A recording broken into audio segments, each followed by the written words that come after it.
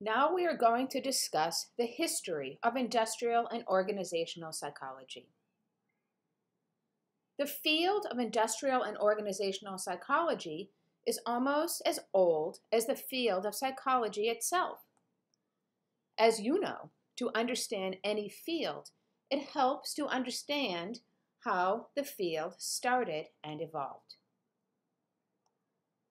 Now we're going to look at some of the pioneers of industrial and organizational psychology, as well as some of the defining studies and developments in the field.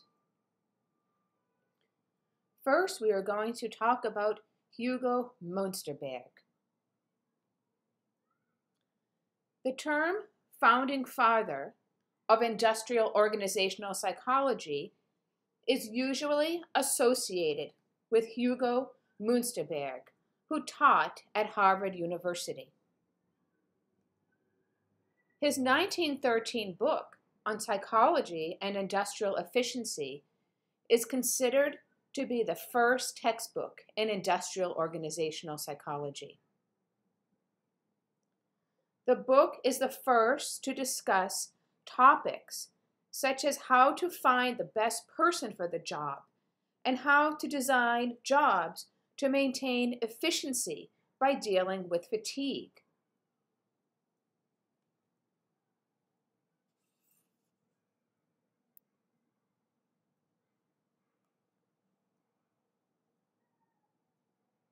Here is a photo of Hugo Munsterberg, who is considered the founding father of industrial organizational psychology. It is also important to note that he was heavily influenced by the writings of Wilhelm Wundt, the founding father of experimental psychology.